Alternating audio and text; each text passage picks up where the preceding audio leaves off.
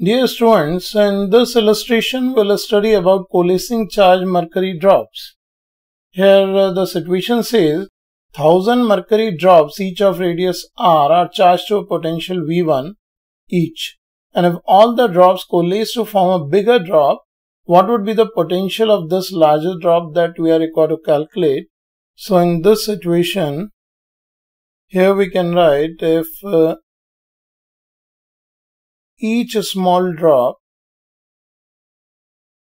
has a charge q,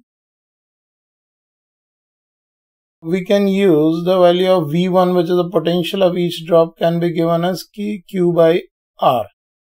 So here this will give us the value of charge on each drop we can replace k by 1 pi 4 pi epsilon. So there's 4 pi epsilon naught r v1.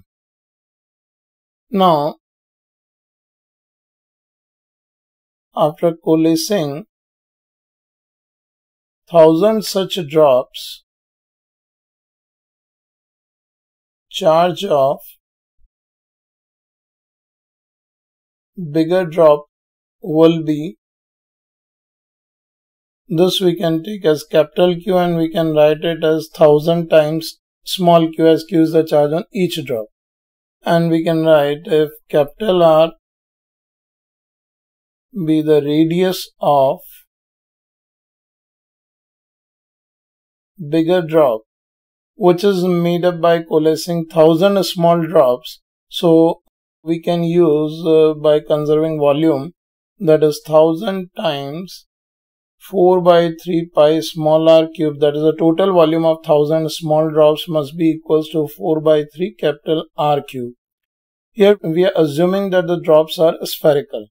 So on simplifying here uh, you can see the value of capital R is cube root of 1000 R cube that is 10 R.